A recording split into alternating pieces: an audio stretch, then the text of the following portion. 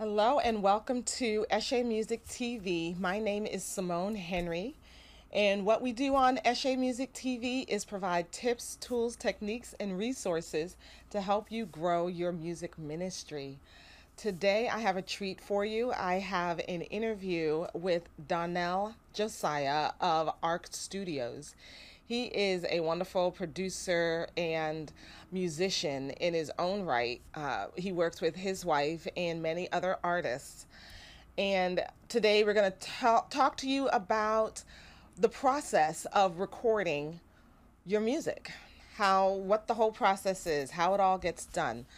And but before we get to that, we're going to play a song by an artist that I met this week at the Independent Gospel Artists Association conference.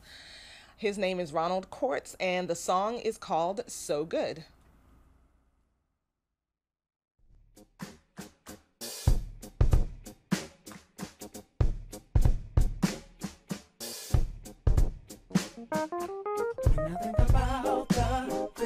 you've done for me.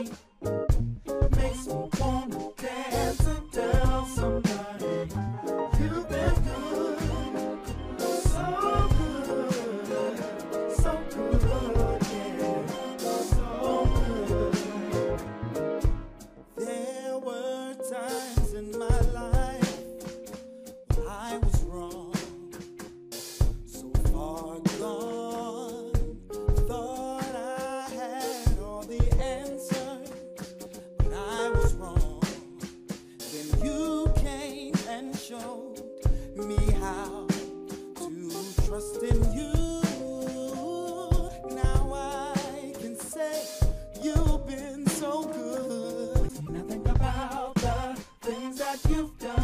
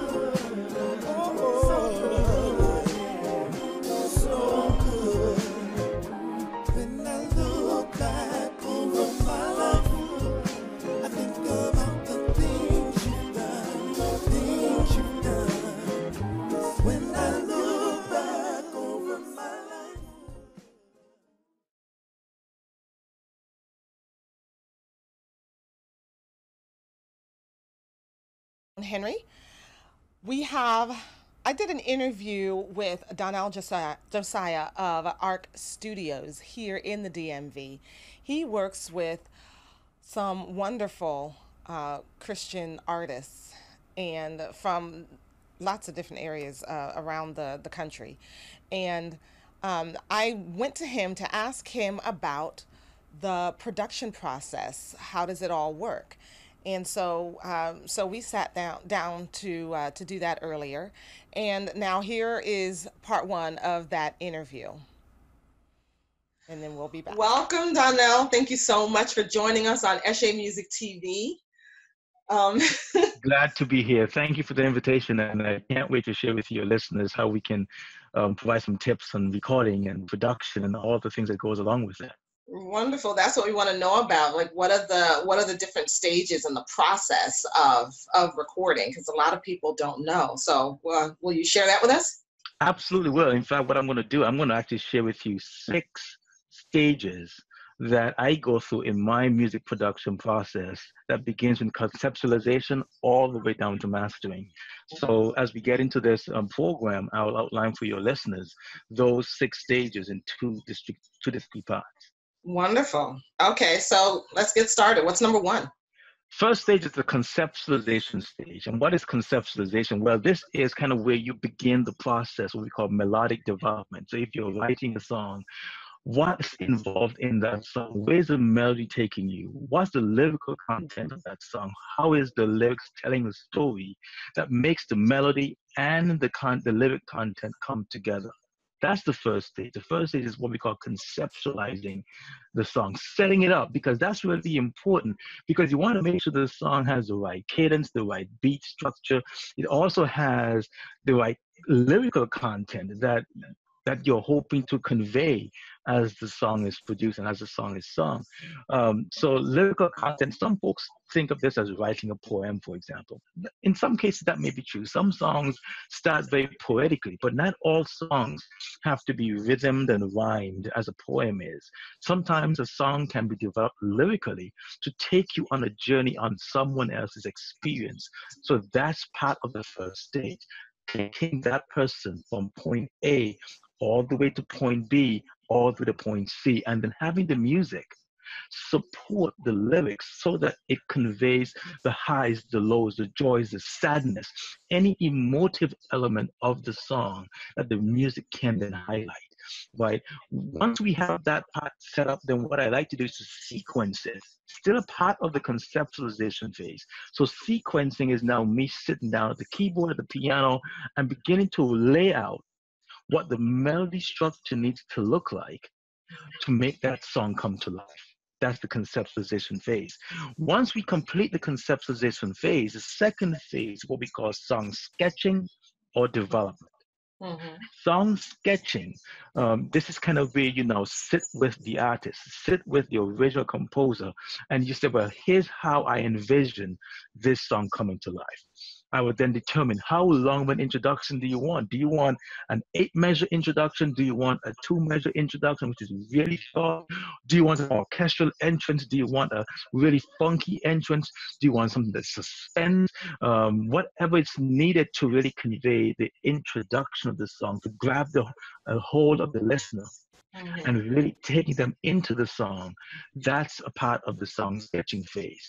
In addition to that, is also laying out the verses, the choruses, the bridges, the pre-choruses, the turnarounds as they're called, um, or the codas, all of those elements or song pieces, song phases, right? All of that is laid out in the sketching process because now we are looking at well, how do I tie the verse to the chorus?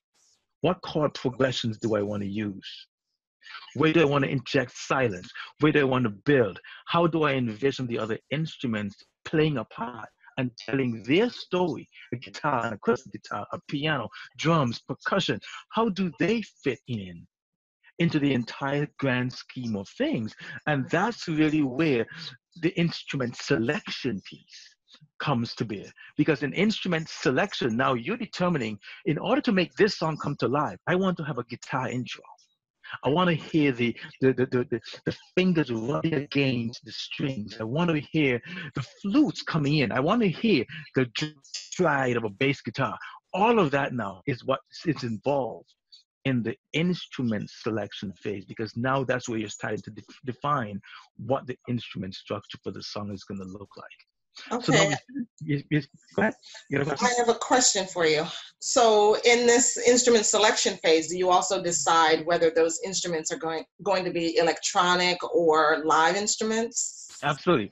Well, what I determine is whether they're going to be electronic instruments, whether, whether they're going to be sampled instruments, or if they're going to be acoustic-based instruments. So, for example, for guitars, when I cut guitars, there's a way in which I record guitars that I don't want to use a guitar sample. When I record my foundation instruments, I don't use um, pre-programmed drums. So I'll hire a drummer and have that drummer comes in and I will lay out for that drummer the entire song because now we have a formal sketch of the song. We have also established the beats per minute, which is the tempo of the song, how fast they're going to go in the song. And if we need to adjust the tempo throughout the song, for example, we may say we're going to start the song slowly, we want to slowly crescendo for the second verse, or we want to do something different for the bridge, or you pick the tempo up a little bit. All of that is now part of the song sketching process because now you're what we, what we call we're developing the meter for the song. So we're selecting the instruments, whether it's acoustic or electronic. And then as we decided, then we now bring the other instruments in to build a foundation of the song. Okay. So the first stage was the conceptualization stage, right. and that I talked about the melodic development, the, the the, the lyrical development. I also talked about um, the initial sequencing of the song. The second stage now is where I talked about the sketch development of the song because the song begins to take legs. And in this case, we talk about song arrangement, we talk about the the meter programming, and we talk about the instrument selection. Those are the first two stages. The third stage is very important because now this is now where you bring everybody together. And this can be done in two ways because this third phase is multi-tracking. Now, I'm assuming that for a multi-tracked song, that you will have multiple instruments. There's some songs where a singer may say, "I just want it to be piano and voice." Mm-hmm. In that case, there's very little multi-tracking that's needed. But in the event that you need to have a full sound, full sound of the entire gamut of all the traditional type instruments, drums, bass, guitars, keyboards, pianos, etc., etc., then now we move into the multi-tracking stage. But what's involved in this stage? In this stage, there are two passes of this. The first pass is laying the foundation of the song. The foundation of the song is always going to be tied to your established meter, which is your click track. So the click track sets the tempo, and he's going. Because remember the first stage before, we scripted out the beats per minute. We scripted out the meter changes. So as the song builds, slows down, or if it stays consistent throughout the passage of the song, right? All of that is now scripted in the second stage. So the drummer comes in and he plays to that time signature, to that to that meter that has been established. That's crucially important because everything hangs off of that. Everything hangs off of what the drummer is playing right? Now, the next thing after that would be the next foundational instrument that is would be the bass guitar.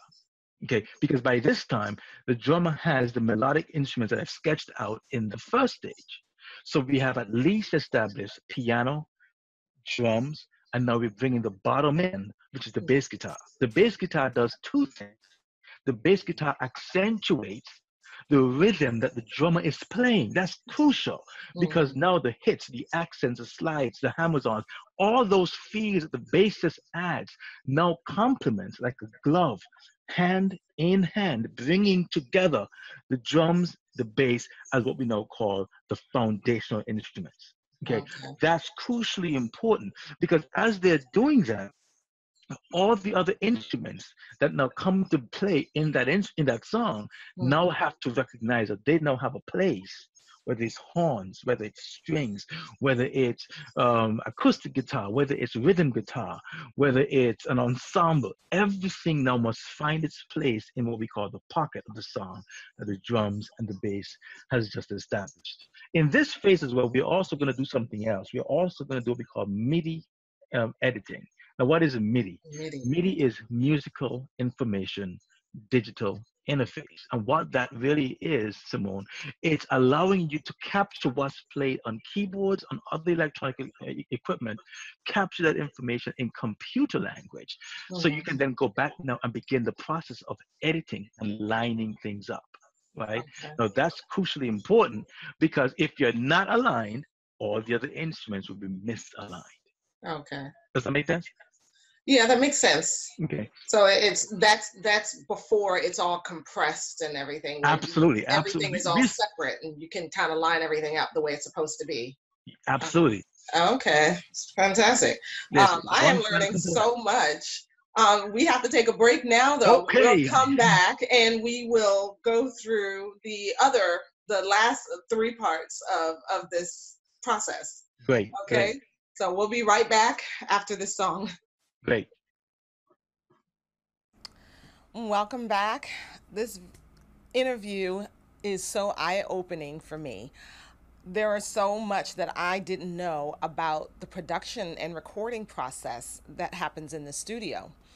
We'll get back to it after this song uh, called Love So Good by LRX.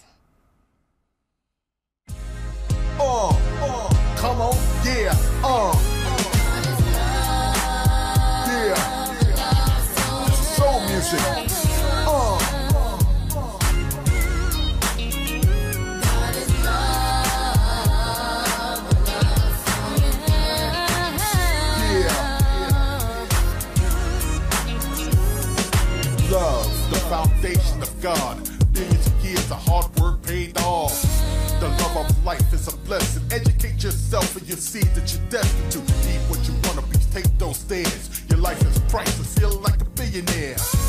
Know that you're a child of God. And since you're a God, this love ain't hard to receive.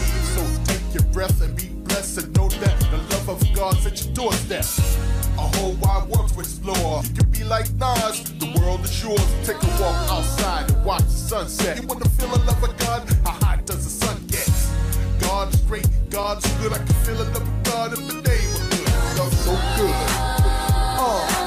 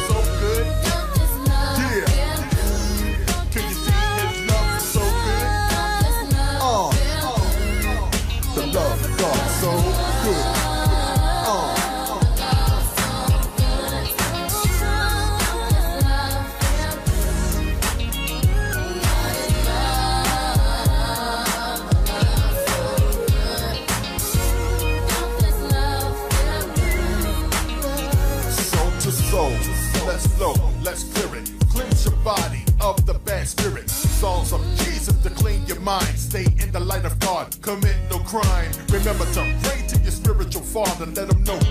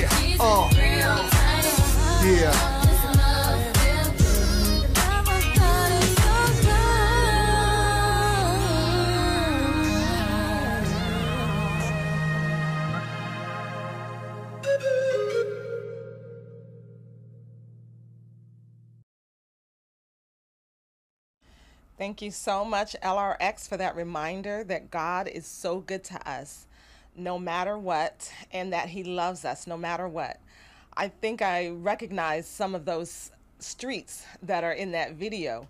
They look like some streets that I've been that I've been down uh, in Baltimore. Thank you for that reminder. We're going to go to the second part of my interview with Donnell Josiah and talk about the last three steps of the production process. So back to it. Okay, we're back.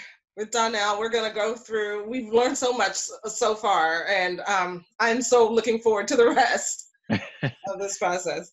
So you were talking about multi-tracking, and so we're finishing up with that, and um, and then we're going to go on to number four.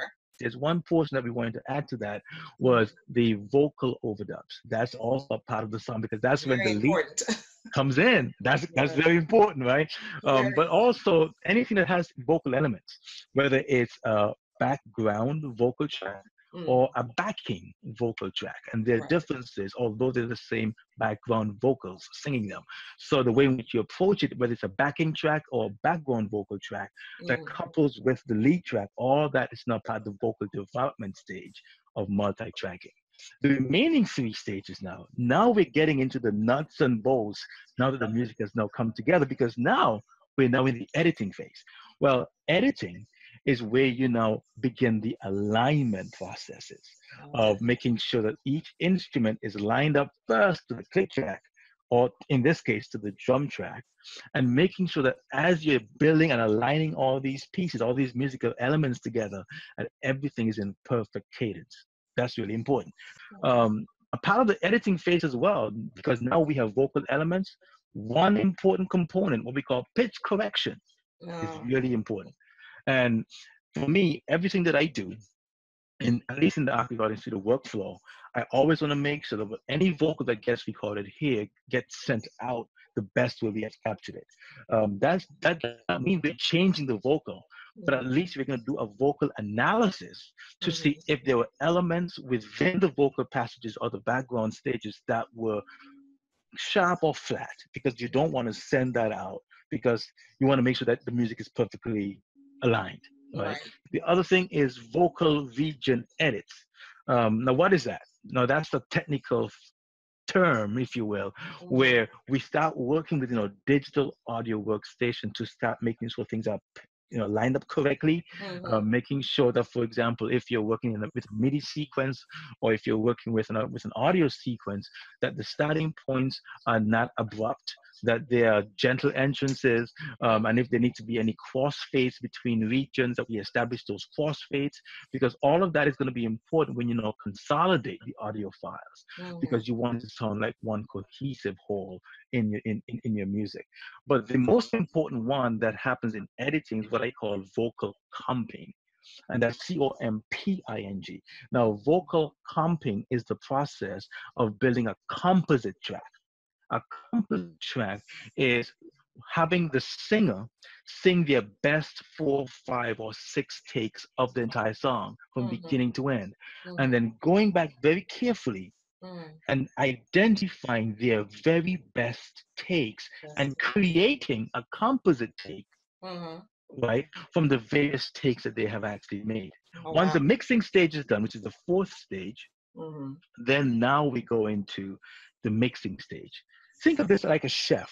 You got some some Old Bay sauce, you got some salt, you got some pepper, you got all kind of different ingredients you can bring into your into your meal. It's the very same thing with music. Mixing stage now, this is where you're now looking at your phonic alignment. Where does the instruments really fit? Lead vocal is straight up in the center, but the lead vocal should not clash with the snare drum, which is also straight up center Okay. right? Same thing, you basically, so there's some foundational instruments that would take some spaces in the mix, left, right, center, including the lead vocal track. The backing tracks, the BGV tracks, those can be those can be tastefully um, panned to the right and to the left, and you can even push them far with some plugins and some other tools for spatial separation. So all of that can be established in the mixing process. All of that is very important. Um, we also get into EQing, changing the tone or accentuating the foundational frequencies for the instruments that you're looking to make. Now we're going to the third phase, which is the mastering. Mastering. This is the final stage where you've now brought all your pre-mastered mixes together. Mm-hmm. Now, in the mastering stage, one is not as long a mixing stage could take you, take you days or weeks, depending on who the mixing engineer is. What is mastering? Well, mastering is the process of bringing cohesive gel to all the various pieces of music that was recorded as part of the entire record. So if you've had 10 songs and they were all recorded and mixed at different times, mm-hmm. the mastering process brings all those songs together so that when you listen back to the record, it sounds as if they were all done at the same time. Okay, so when you're when you're mastering, you're not mastering a song, you're mastering the whole album together. That is correct. That takes you into the second process, what we call the the sonic blending of the tracks. The sonic blending, which means that as I listen to song one, right, and I listen to how the, the overheads are sounding in song one, right? Is it sounding too shrill? Is it sounding too bright? Is it sounding too dull? But I get a song two, and all of a sudden, my overheads stand out. That is the job of the mastering engineer to bring those two elements, those two songs, so that they're closely aligned together in frequency, in tone, mm-hmm. so that they all sound like all relatives of each other on the record. You don't oh. want a song to sound like a foreign entity on the record. Wow. Right. Um, so that's the whole purpose of mastering. So in this phase, we talked about three distinct phases: the editing phase, we mm-hmm. talked about mixing phase, and we talked about the mastering phase. So when you bring all these portions together, so from conceptualization, right? When someone walks into your studio and they got a song, they got an idea they want to work on, the process that I go through, starting with conceptualization, moving into song sketching and development, then moving into multi-tracking, um, and then after that we go into the editing, the mixing, and the mastering. Now, sometimes I outsource some services for, for example, if I'm working as a mixing engineer for a particular song, it's usually customary to have another mastering engineer master that work. Why? Because it brings additional perspective to the work. Mm-hmm. It also gives someone else the opportunity in critiquing the work and making taking corrective action in a different environment. Because remember, if you're mixing with the same speakers and you're mastering on, you probably would not hear imperfections in your own setup. But when you outsource the mastering to someone else, then you're, especially a mastering house, their houses are already set up.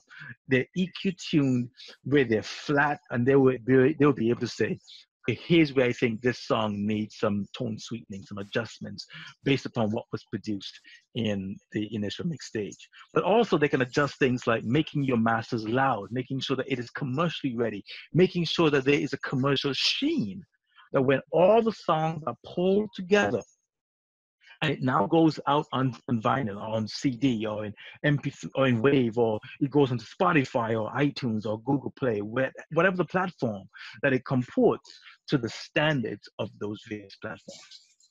So that is the job of the mastering engineer to make sure that that entire picture is is created in that final stage of music development. Well, Donnell, you have shared so much with us today. I am so thankful to have you we're going to have to have you back because obviously it sounds like there is so much more that goes into this. Um, and I have been taking notes. I hope my audience has. I'm going to tell everybody take notes because this is good stuff. Whether you've recorded before or or not, um, there's still so much to learn. So thank you thank so you much. We're going to have you back. great, great. Thank you so much. Thank you. Bye bye now. Thank you so much, Donnell, for joining me on ECHE Music TV. Um, I took notes. I hope you all took notes and that you will. Um, and if you didn't go, if you didn't take notes, feel free to rewind this video and watch it again. He gave us some really good information. That's it for the show today. I'm Simone Henry, and this is ECHE Music TV. We're going to go out with a song called Behold by CWEN. See you next time.